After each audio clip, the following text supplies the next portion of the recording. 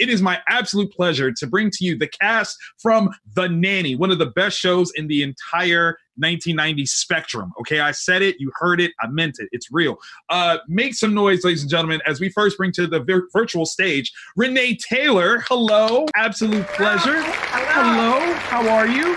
Great. If there's anybody from Switzerland, send me some chocolate. you heard that here, okay? Next up, we have Nicholle Tom. Hello. Hi. Absolute, absolute pleasure. Absolute pleasure. How are you doing So today? happy to be here. Oh, Oh, I'm it's doing great. fantastic. Next, Hi, we have we have Charles Shaughnessy.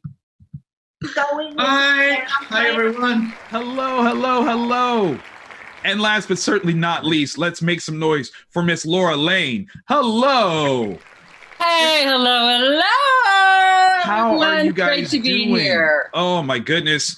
Obviously, uh, this is a very strange year for everyone. 2020 is absolutely weird. How are you guys doing? Why is it weird?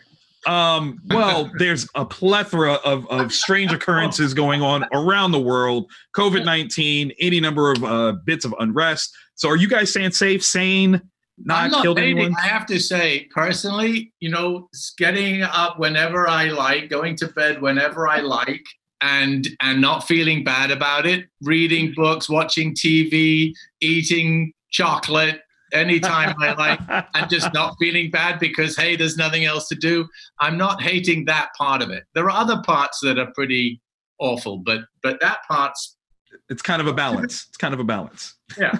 Yeah.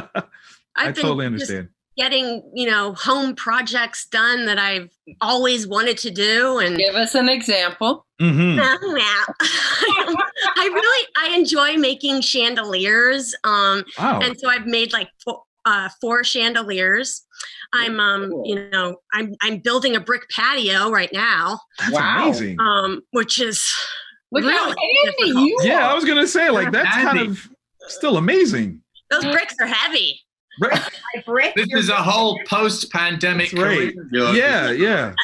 I noticed that the name of my shovel too, that I'm like, you know, digging all the the dirt up um from, it's called a, a Corona sho- shovel. Whoa, whoa. Which I was like, is that Whoa. like a little? Mm. I mean, what is that? I mean, For just a second, I thought you were like naming your tools. This is Margaret. This this one's Corona. I mean, yeah, I mean, that might be a sign of something very bad. I don't want to say that. an unfortunate name for a shovel. Yeah, Like, yeah, know.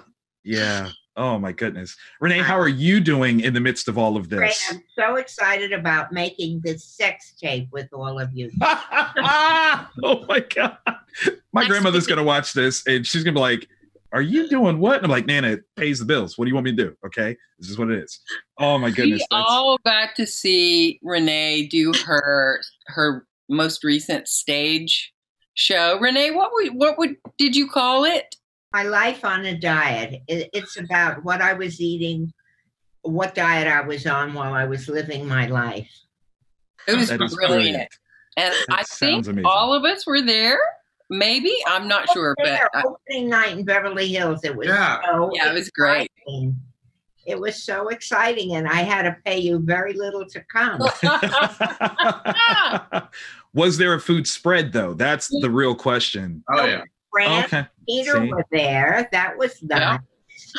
The writers Amazing. from The Nanny were there. The creators. It was really an exciting reunion.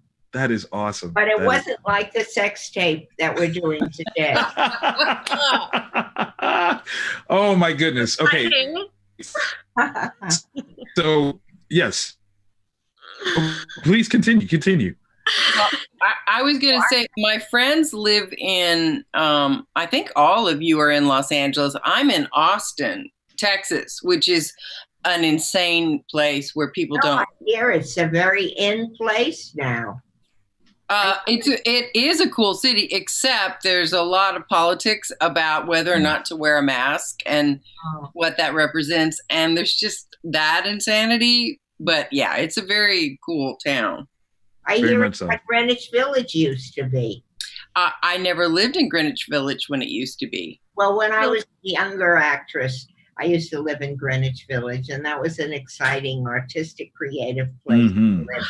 Now I'm living in Manhattan, right across the street from Lincoln Center. Oh, beautiful, Awesome. beautiful. I'm Are you- loving your backdrop too, because this is that's fabulous. Thank you, thank you. Very, so very I well. moved here because I love the Metropolitan Opera and I wanted to go to opera. So that's why I moved here. But right now there's not too much opera. Unfortunately, Oh, I've always wanted to go to the opera. I've never been.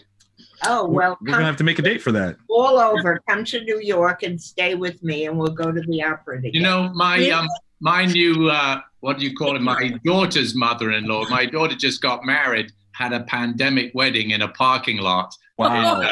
in Florence.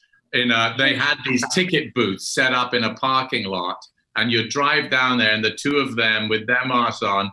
Then they got a text. They walked to the ticket booth, and the guy married them on a walkie-talkie wow. and that was it. So, instead- and they'd had this huge wedding planned. We were, you know, we were looking, staring down the barrel of like a thousands of dollars of wedding. It ended up taking 30 seconds and cost 60 bucks. Wow. I mean, The point is, his the her new husband's mother is a was a director. She directed at the Met. Uh, uh, at opera. That's brilliant. Oh my goodness, that's amazing. So the thing that's brought us all together is the show The Nanny, and it was one of my favorites. Um, I, I have to admit, I adored the show, and it fit a certain model of you know different cultures coming together in one household, and people of different walks of life finding that common ground, which I feel is so very important for those of us today to really appreciate. What was it like to be a part of this show when when it was put together? Well, it was great, except for the people that were. they were all snobs. oh my goodness. Renee's got all the jokes today. I love it. I love it. You know, we were- were the little engine that that could you know no one gave us any we were like that i don't know whether you all remember but that year that season there were all these big names faye dunaway had a tv series all kinds of big names had tv series and when we went to new york for the upfronts where they kind of present the new show the nanny was right we were actually next to the kitchen we were way back our table Wow. was literally next to the kitchen. People come up and ask us, you know, if, if they could get an extra ice cream and things like that. And and so no one gave us much of a shot, and we were the little engine that could. All those other shows, you know, bit one by one, they got cancelled, and we just sort of kept going. And it was it was very exciting because we were all sort of experiencing this for the first time. Yeah, it was uh, uh my my first um uh you know sitcom. Actually, my first sitcom was um the Drew Carey show, but um I I got fired off of that. but That's a then, story. We're gonna talk about then a week what? I said that's a story. We're gonna have to talk about that. yeah, but then um then they uh fired like the wife from that show. It was a different Drew Carey show.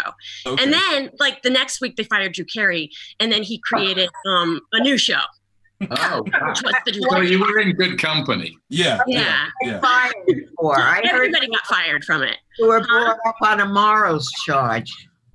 What? Just kidding. she's she's ribbing you right now in the I best way never I think the audience that the, the folks that are with us today might not know about um, that, and uh, not necessarily what Renee said. Great joke, Renee. I didn't But hear. um, uh, that when we're doing a pilot, we we most of the time you don't know if you're going to Right. Keep that role, keep that job every day. You spend however long, maybe a week, maybe 10 days, maybe two weeks. Um, and you don't, I mean, it happens constantly. They replace people because of chemistry or who knows what Right, the right. thing is. And they Yeah. always say it's nothing personal, but you're fired. Right. Yeah. It was um pretty devastating as a Right. little Oh, girl. of No course. doubt, no But doubt. then you would never have done the nanny if that had imagine Yes. if that had kept going. Yeah. That's right. That's That's You right. wouldn't be on the nanny. It all worked out.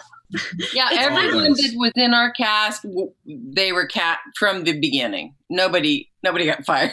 That's fantastic. Yeah. That's fantastic. Well, Grandma Yetta, um, we didn't she uh she Yeah. was Yes, She was- we don't talk about that. I'm Oh. kidding. oh, sorry. that was That was a very like monotone. We don't we don't bring that up. Okay, we don't do that. That's on the hush. That's family business. It's not for everybody. That's what that Oh, was right no, when we do the gossip part of the show. Then we go into detail. we can definitely get into that. We can definitely get into that. Um, Charles, how did you feel about being a part of the show uh, when it began? Me? Yes. Uh, oh, it was so exciting. Well, as I say, you know, you just don't know what you've got. My my concern was um, being a sitcom dad. I'd be absolutely honest, and I knew that the business was littered with the corpses of sitcom dads. so I actually said to my agent, I said, listen, you know, okay, but this has to run a long time because, you know, sitcom dads, you don't get a second shot. That's it. You're a sitcom dad. That's who you are. And thank God it did run for six years. So even though I was right and I was then sort of stuck as a sitcom dad for a long time, but it was kind of worth it. Um, but I didn't, you know, none of us knew it was going to be this kind of a success when we started. We just knew we had a really good pilot, we had a really good cast, we had a really good script for that first show. Um, so we we were we, and we had a great cartoon um, opening title. Indeed. That's what made it. So, um, so we felt good, but you never know. And the network was sort of taking us off and putting us on and changing the night, and then we'd have a hiatus, and no one knew if we were coming back. And then in the summer, it sort of caught fire and it was run. So yeah, it was really exciting. I remember Fran saying, you know, hold on tight, this is going to be a rocket ride, and it it was. It That's was, amazing. It was. But I heard that they had a problem with you, that they were worried you were too good looking. Mm, Oh yeah. mm, mm. Yeah, I get that a lot, Renee. it's, just, it's just something I have to live with. You know, I've made peace with it. Listen, the struggle is real out here. The struggle is real. I love it. Lauren, how about you? How was it being a part you know, of the show? I was just thinking about, um, and this is another thing that the audience, the fans might not know about the sort of sequence of events of auditions that we do f- for any project, but for a television pilot, there's generally now probably Charlie and Renee knew they had their jobs straight out of the box. I don't know, but I auditioned. So what was interesting to me was watching really famous comedians like SNL people, etc., um, who I loved, but and and were I was intimidated by, y- you know, fall off slowly, you know, as you narrow it down to like, oh, it's between this one and this one, and the, it, that's just the way it is. You know who your competition is, and they're going to be in the same room with you, waiting wow. to go in to audition and Right. then you do something called going to network and that um, is when there's a room full of suits like like oh let's say 80 suits. They're not they're not the easiest audience. And i remember charlie I, the scene that i had auditioned with over and over i was massaging your shoulders and i can't remember what i was saying. Something like oh you need you need a shiatsu. I remember that i was saying like doing a little twirl on that on that word. And uh, so i went in did my audition came out in a hall and um, you're just waiting there. Danny and i were both auditioning on the same night. I, I don't know if everyone did or anyway i came back out and then this man in a suit came out and said hey that was super. That was just terrific. Could you do it again and just be um more real Oh wow, that's Oh, you want to hear something funny? I auditioned for Seinfeld, and they said I was too real. wow. That They wanted Wow. somebody who was more cartoony. Isn't that funny? Wow. Well, what's of course what I said was absolutely, and I went in and I did it mu- without the spin on anything. They loved that, so they could see that I could do it both. You know, that's one of the things they're looking for from actors, all of us. Like, can you take direction? Can you bring something that's your own? Um, but the truth is, I ended up playing her much, much more like the first read. In fact, exactly like the That's I, that's uh, what happens. I That's totally what auditioned nine times um, for Wow. the. Oh my God. Yeah. Wow. I mean, was, nine great times because you're here. which is fantastic. So I can appreciate the work that that was. Uh, we Oh, actually have. I didn't audition at all because Fran said they will never hire you. That they want somebody like Sheila MacRae, who's more Presbyterian. Wow. Wow. So I'm just going to give you the job as a guest. And then they'll say, hey, maybe she could do it. And I'll say, oh no. And they'll say, yeah, yeah, give her a chance. So that's what happened. That's, That's part the brilliance. how you of take it. Yeah. Fran is brilliant that way. She really, I mean, the the it's legend how she even got this pilot, um, like for us to shoot a pilot, which was basically cornering, oh, um, the head. What was his name? Remember Je- that? Gansky. So Jeff who was in first class on a plane. There was an empty seat next to him. Fran went, sat in the seat, and pitched the pilot. Wow. Wow. Okay, this is like a perfect time for a spinoff from a question from the fans. So we have Sweet Sensation 44 asked, what was it like to work with Fran uh, on this show? Obviously, she had such a hand in its happening. So what was it like to work with her as both the star and really a creator? You know, I'll I'll I'll never forget that I, we were the first day of rehearsals of the pilot. Fran came in with this huge pot of chili for the gang, and she said, "You know, we're going to be a family for a while, so Mama's going to make dinner." And she brought in, of course, I thought, "Oh, how sweet! She's been up all night cooking it." Uh, me, she had some people cooking it, but nevertheless it was just such a great gesture that she actually brought in, you know, there was caterers to do all that. She said, you know, she wanted to bring it in.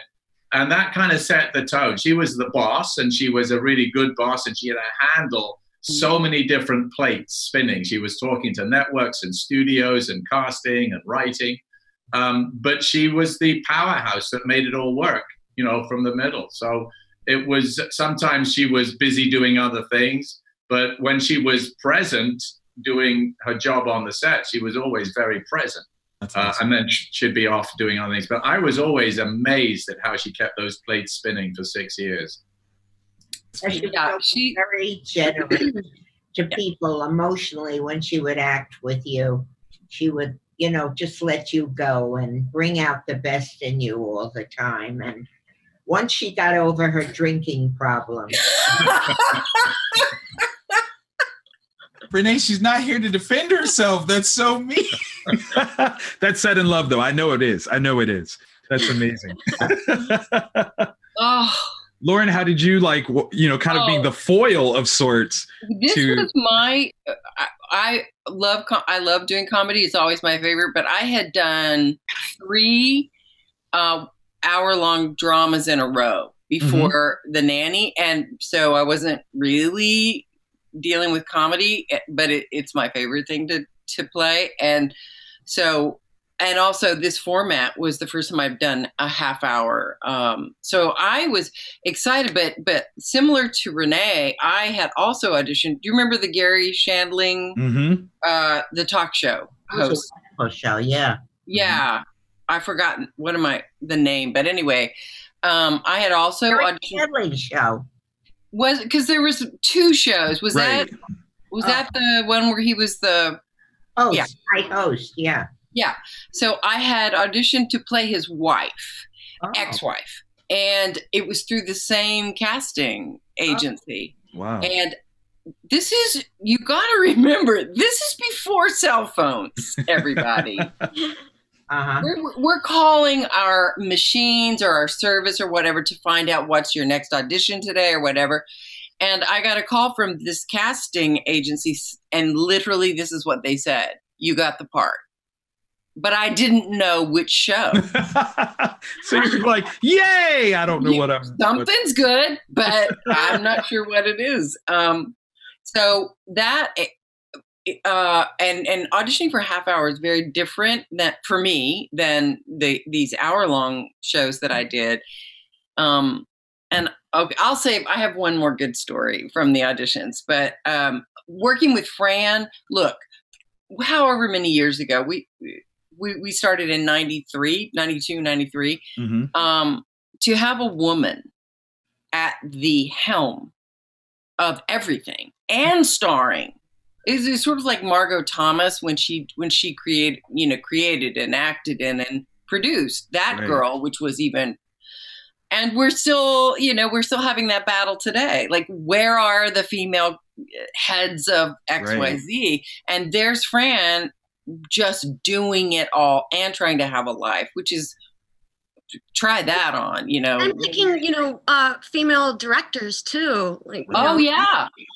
it, Lee Shallat being the um, art director and Dorothy uh, Lyman for so many years. I mean, it's she was, um, she was she's a real role model, Fran. That's awesome. You know, Yeah. She's a very That's strong And woman. she's a damn shark. She knows how to get stuff done. That's You right. know, I That's admire that about her. That's that might be that New York mentality just coming out and being don't take no for an answer. You just make it happen. That's it. Absolutely. Um, we actually have a couple more questions uh, lined up here. So uh, Mitch Schuler asks, "What did you enjoy most about playing your characters?" And because he specifically started with uh, Lauren, uh, what did you like most about playing C.C.? Well, it really is fun to be mean. It really is. It's, but because of the um, d- look, Danny's role, uh, Daniel Davis, not, and we're very, very good friends. Um, he, he would have like the punchline always, Right. Uh, and I would just have the, at least for the first few years, and then it kind of started to morph a little.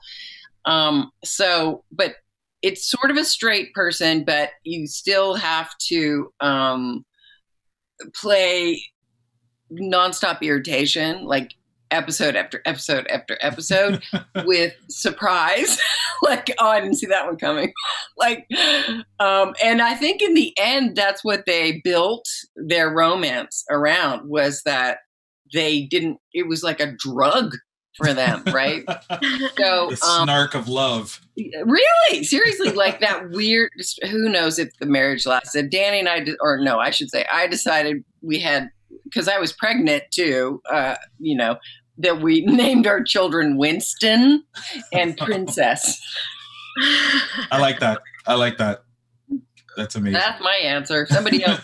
Renee, Well, um, when I play somebody pushy, I always try to be innocent about it because I'm I love when people are uh, aggressive and they're sometimes they really feel that they're innocent and they really feel that they're helping and they're giving to you and so I always try to come from that place. amazing. That's That's amazing. great. Yeah, very well said.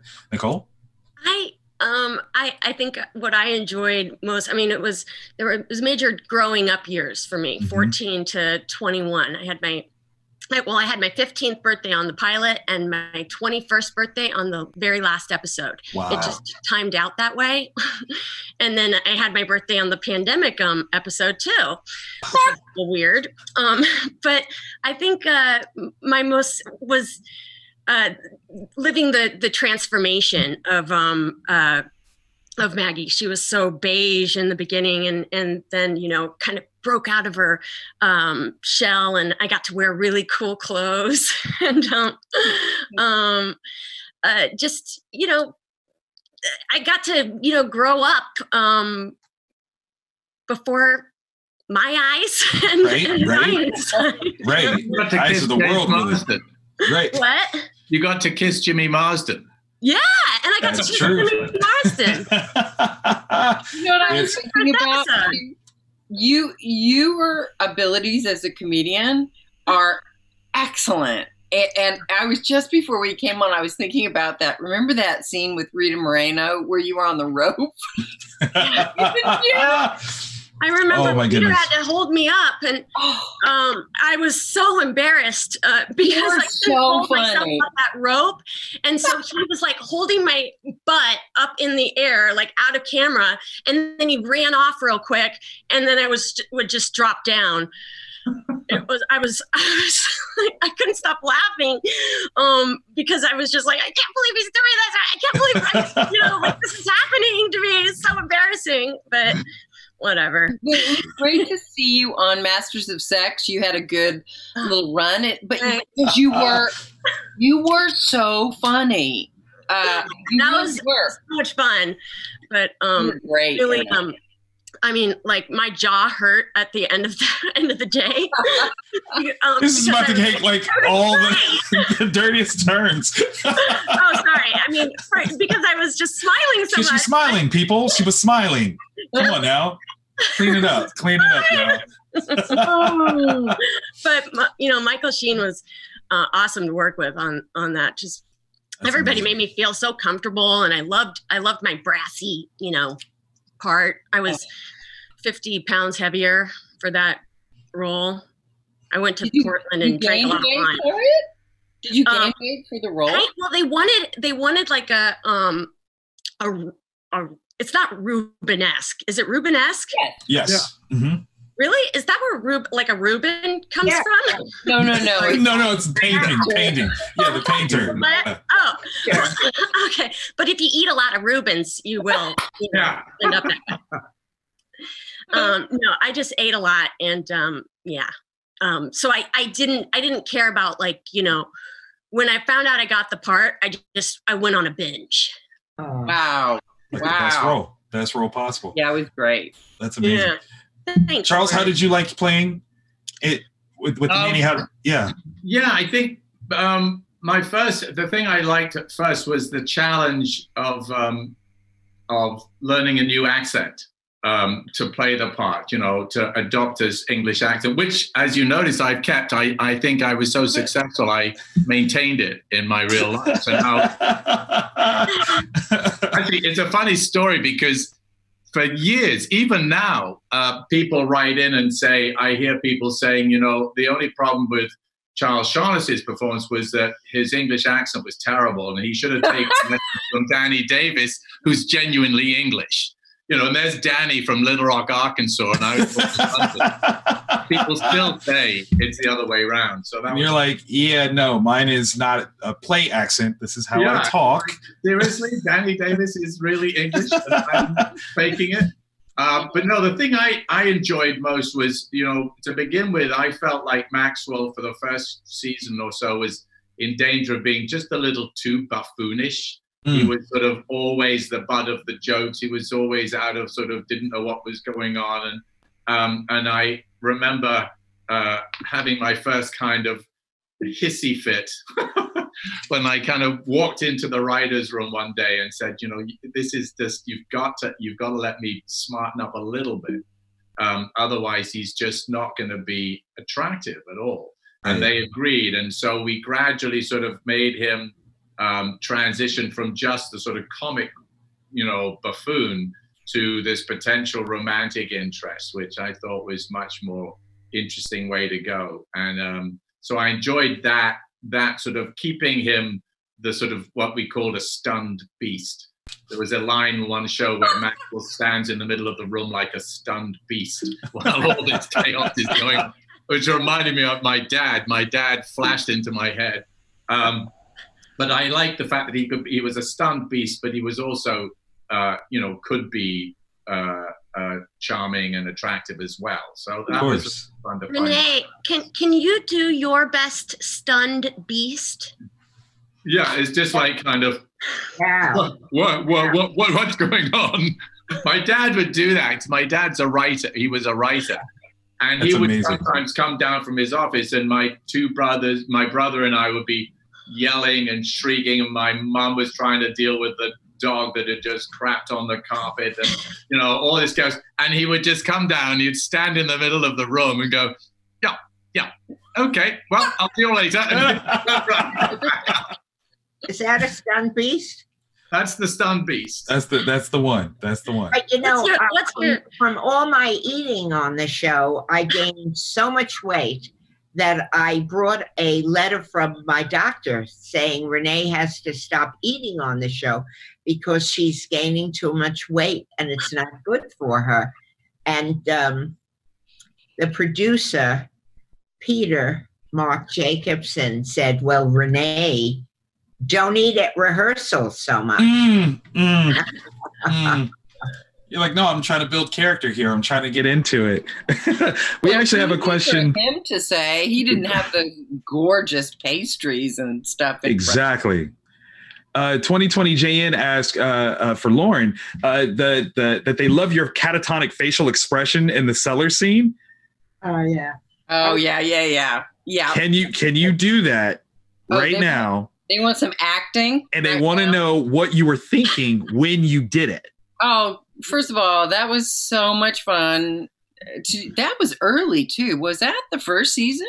I think so. Yeah, I think so too. And um, that that wig, it was sort of the just the giant version of what um, Renee, the wig Renee wore. So it was like huge. so um, Fran and I kept having to not laugh, right? Um, well, I'm just a brilliant actress. Let's face Facts. it. Absolute and facts. So Okay. just a stare is pretty elementary. It's fairly. so I think the hardest, I'll tell you, the hardest part of the scene was uh, I had to sing Luck Be a Lady tonight, and I had to go up and down the stairs, backwards and forwards, singing the song. Then I had to get the door handle, at, which wasn't connected, at just the right moment and pull it off. So it was rather complicated. uh, it's like playing Lincoln or something, you know. Yeah, yeah, yeah. Significant. Get Super it. significant. I'm with that. I'm with that. That's amazing. Did I Um, answer? Yeah. Okay. You, you did absolutely. Um, so Amy Bin- Bignon asks, uh, other than the nanny, what was your favorite role that you? You've played in TV or theater, and is there any roles that you would love to play in the future? Yeah, that's a heavy question right there. Like that's Is one. like everybody. Everybody, Okay, everybody. I actually did my had my favorite role quite recently. I uh, which was Captain Hook in Peter Pan. Oh, with Jenn Colella. Jenn Colella from um, uh, from Come From Away. She played Peter. This was in Pittsburgh, and I was Captain Hook, and I loved it. that's amazing. It was so much fun. That is amazing. Oh my goodness. We need we need like video of that to get us through this pandemic situation. Yeah. I need that joy. Absolutely. Renee, what about you? Oh, I always wanted to do some of the Garbo roles, like Camille and uh, Anna Karenina. And uh, I hope when I'm older that then I'll get an opportunity to do them. I love the idea of dying from tuberculosis. And a broken heart. Yes, yes, Uh, yes. Oh, Such a good sport. I have missed your humor so much in my life. You don't even Me know. too. Lauren, what about you? Is there a favorite role that you've had or something that you would love to play Um, coming up?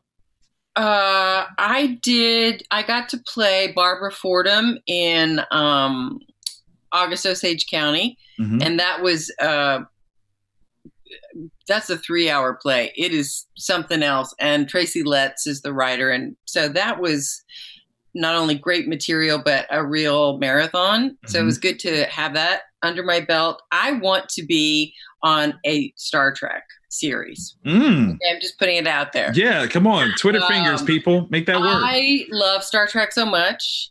It, Leonard Nimoy was my first crush. Okay, ever. okay. Yep. I'm not. I absolutely am not lying. I had such a Wow. crush on Spock. Well, you'll love this, Lauren. His son lives two doors down from me. Come on. Is he single? Wow. No, he's married, but he lives literally just our neighbor. Yeah. So that's. I- I mean, that would be. I, I would love to be on. Okay. I'm a sci-fi fan too. I mean, I'm there's nothing wrong with like- that. I'm kind of like Lauren. I would love to do a um, anything sci-fi. I love um, I love sci-fi movies and um, or or like an action um, Okay, okay. like Matrix um, type uh, show. Um, uh, but I I also I love my favorite role was um, um, well minor accomplishments. I loved that character because she was just such a you know go getter and um, Right. uh, that was probably one of my most favorite. And I loved Gotham too because I was evil. Yes. Yeah. I mean, that happens. Science fiction and horror things are so much fun because you literally enter this whole other universe, especially on Right. TV. They built the sets and the costumes. I remember doing a Stargate uh, up in Vancouver, and I couldn't believe it. You walk on the into this soundstage, and you're in this other universe. I got to like literally fly a starfighter, and they had this Wow. thing and you put in it, and they have the screen going past. The, and I was like, oh my god, this is easy to act because you're just doing it. It's like Because you're there. Right. Oh, I'm so jealous. off-world, you know, in an off-world aircraft. So it was. Yeah, I always loved doing that. And I, I did a thing called The Magicians up in Vancouver too, which was a sort of horror fantasy thing. And Right. again, same thing. These incredible sets that you walk into, and you're just in this other universe, and it, it's like being a kid again. You're just playing in this huge, expensive sandbox. Yeah, and we're all going to be doing um, Charlie's Angels. Uh, Renee and Lauren and I are are going to be um, in the remake of Charlie's That's Angels. true. With, you know, Charlie, of course, true. being Charlie. All of that. I'm the voice on the telephone. yeah. I want all of that right now. Like, make that happen. That's better than the nanny in we're the new space. I love it. Angels. You could also do Good like morning, anything angels. that Catherine O'Hara has done. I would sell an arm or something. okay, Oh yeah, she's my, my favorite. that's Brilliant. amazing. That's Brilliant. amazing. Uh, Charlie, are you still doing My Fair Lady? I'd love to see you do that. I, you know, I'm getting almost too old, but not quite. I, I'll do it until they tell me not to. I've done it like four times now. I think It's amazing. I love it. It's like, How like old it. George Harrison? Yeah. Yeah, that's true. I Right. could probably yeah. It it Good begins lord. to get sort of a little iffy when the Eliza is suddenly, you know, could be your granddaughter. It, it just about was your when she could be your granddaughter. It gets a little iffy, but Eh, eh. Except Charlie, I mean, look at Oh, I almost any movie. Love in the Afternoon with Gary Cooper there and you go. Audrey Hepburn. It Right. been right. I know. I saw it the other day, and I'm like, this is sort of slightly disturbing. that nobody Little turned Lolita. down. And did you see Sabrina with Humphrey Bogart in Yeah. it? Yeah. mhm. You can do that. You could, but you you try reversing it the other way, and it I, you you'd never get I'm it on the movies. Oh my goodness. Oh, Oh my I goodness. could do it. I could do me and There another you go. Or you can be yeah, it's like Sweet Bird of Youth. You can do that. That that, that works. Especially in that fabulous dress. It- Renee. yeah, definitely. Definitely. Damn, girl. I mean, you know, I'm just let me clean myself up a little bit over here. Um, actually, there's been uh, quite a few fans that have asked, uh, would you guys be open to a reunion series episode or anything for the nanny? Um, would Would you guys be open to that? Well, I don't know. I mean, if it works, I, I don't quite know how you Depends on the do it. It depends how much. The- Maybe it would be a prequel. Ooh, ooh. that would be There we go. Will. Uh, Uh, but Then none of us could be in it. It, what? have to be, it would have to be a Yeah. sequel. Yeah, yeah, definitely carryover. Definitely carryover. Yeah. Or it could be us all five or six years later. There you go. Sure. And they just It do could be that we all dream. Yeah, fine. we could be like, you know, now, and then we all get together and tell each other about this dream we had that we were all in this family.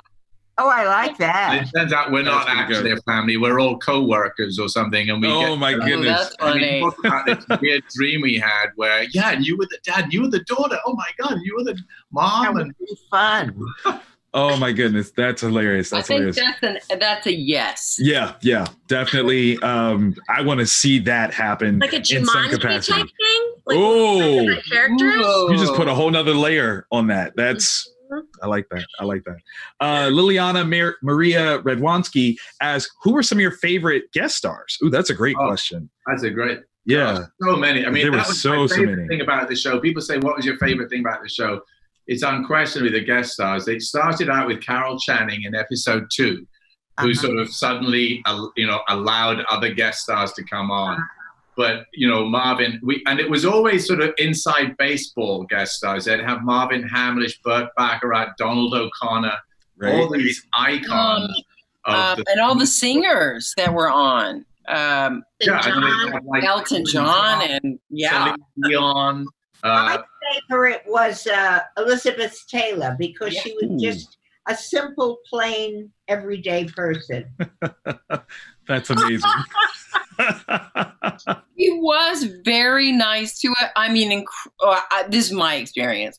When we did a scene, she was there and very, but I also watched, like, we had 2,000 people on set that day, which we never, ever had. So clearly, it, I, I- I wouldn't want to have to live my But life. She wearing a big diamond ring, and I said, "Could I try that on?" She said, "No." Not with the smack of the hand. Oh my goodness. Whoa, Oh my goodness. O'Connor. Uh, I think I think it was worth four million dollars that everybody wanted to try it on. I Wow. mean, I mean, She's afraid of it being stolen because I look like you know I would put it in my bosom. She had every right to be afraid. oh my goodness. So before we get out of here, is there anything uh, last minute that you want to say to the fans that are watching at home? Yes. Thank you for staying you. up late, those of you and who are joining us. us. And I'm going to tell you something. If it'll go no further than this Zoom, Okay. I'm not wearing any underwear. you are going to get those chocolates from Switzerland. I'm going to tell you that right now. Somebody's going to send you something. It's going to happen. It's going to happen. so, but with almonds, slivered almonds. Okay. Okay. Mhm. Okay. Oh my goodness. So much fun. Let's do it again. Yeah. Yes, it is. indeed. Thank Yeah. you. Thank Thank you. Because you, you're bringing back watching. memories to me. Like, Yeah, and I love that part of this. on you guys. Next time, let's have champagne. Oh, Yes. Yes. We'll do it as a celebration. We That can is do a the little, way. a little later, you know. I'd like to just say something to the people watching too, just to say thank you not only for tuning in today, but for tuning in. You know, every night it's on somewhere, and it's it's you guys that are keeping this this going. You're keeping Absolutely. the magic of the nanny going because Write people are, new generations are watching it. Kids are watching it. Write letters to Sony to say, bring back the nanny. Yes. These Just people let 'em know. will work for practically nothing. Just chocolates and champagne. Yeah, chocolate champagne and I've been working on. I've been working on a sequel. I have. Okay. All right. So let's make this happen. You I'll guys heard it here. Yes. Yes. If you need a fan, you know, proofread, I'm your guy. I got you. I'm, I'm there. So just this Well, is for, thank you, Victor, for doing this. Oh, too. my Thank you pleasure. Thank My you. absolute pleasure. yes, thank you, Yes, thank Victor. you. Thank you. Thank And. I just wanted to say quickly, really quickly, um, Daniel Davis wanted to join us, but he had just recently moved and was overwhelmed with like boxes Next and time. And so in the future. love. Give them our love because Yeah, you know, yeah. the three of us and Danny are the same natural blonde color. I love it. I absolutely love it.